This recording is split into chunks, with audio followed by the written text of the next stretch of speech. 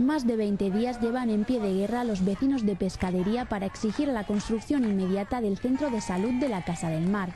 Una infraestructura proyectada por la Consejería de Salud en 2008 que llegó a presupuestarse por una cantidad de 2.300.000 euros, pero que a día de hoy sigue cerrada. Los vecinos de Pescadería no entienden que una barriada de entre 10.000 y 12.000 habitantes no cuente con un centro sanitario en buenas condiciones y cercano. Vamos a seguir la misma ruta y la misma forma, hasta que no se sienten con nosotros y de una vez por todas abran el centro de salud, porque si los políticos tuvieran vergüenza, Pescadería, que tanto la defienden en momentos electorales, que defiendan este centro de salud que es tan importante, la salud como el trabajo o como cualquier reforma en el barrio. Desde el 2008 prometieron, incluso dijeron que estaba presupuestado y con los planos para hacer la Casa del Mar, nunca más se supo de la Casa del Mar.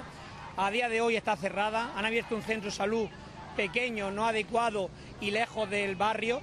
Además de las protestas, los vecinos secundan una huelga de hambre rotatoria que ha provocado varios desvanecimientos y hasta una lesión en los dedos de la mano a un varón a causa de un desmayo.